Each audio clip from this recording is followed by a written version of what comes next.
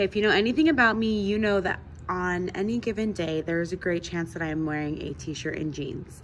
Um, which is funny because I sell all sorts of shirts and blouses and whatnot, and I just gravitate towards it every time. So earlier in the year, we came out with our Piper and Scoot tee, which is my perfect tee, which for those of you that don't own it, um, it's awesome because the material is super comfortable and um, it's thick enough that it's not see-through. You don't have to wear like an extra layer underneath it.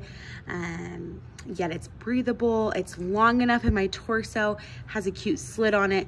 So anyways, we came out with that the beginning of the year brought it in in a bunch of different colors because the response was awesome.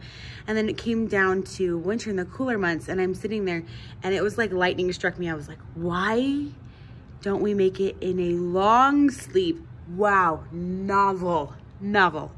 Anyway, so we did, and we made sure that it was like the best long sleeve you've ever owned in your whole life.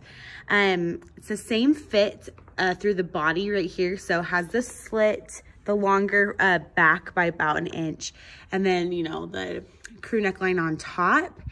And then look at this, so cute. This little um, sleeve has like more of a sweatshirt sleeve to it, but this is not a sweatshirt. It is, it's still a tee. So it's this weird hybrid that I cannot get over. I have it, we have it in three colors. We have a white, a navy, and a heather gray that we're releasing today.